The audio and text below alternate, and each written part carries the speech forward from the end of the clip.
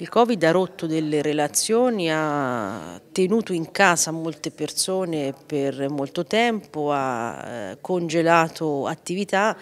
e quindi oltre ad essere una pandemia, ovviamente, quindi una risposta purtroppo di tipo sanitario, è stata anche una grande tragedia da un punto di vista relazionale. Prima l'emergenza pandemica e poi la guerra in Ucraina. E anche questo ha avuto un riflesso nella psicologia delle famiglie, delle adolescenti e quindi il progetto progetto ha cercato di contenere e di creare degli spazi che potessero far sentire le persone all'interno di un percorso sicuro dove è possibile condividere stati emotivi e soprattutto confrontarsi con professionisti che fossero in grado di dare una risposta tangibile alle necessità del momento. L'edizione 2022 di Estra e Diversa ha così proposto dei colloqui di indagine per comprendere l'impatto emotivo dei ragazzi, soprattutto dei più fragili, di fronte a questi due eventi. Presenta davvero un'occasione non solo di sponsorizzazione ma di aiuto e di investimento sia per quanto riguarda le famiglie dei più fragili sia per quanto riguarda questi bambini che hanno fatto questa bella esperienza. Il progetto promosso da Estra in collaborazione con il Comune di Arezzo, Coingas, l'associazione Crescere la Scuderia di Pan ha l'obiettivo della presa in carico dei bisogni delle fasce più deboli della popolazione,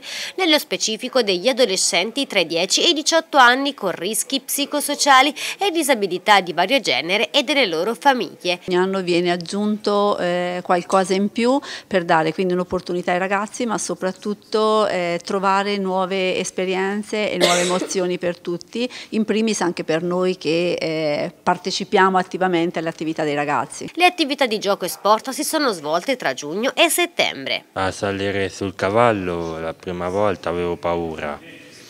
e dopo ho smesso di aver paura e,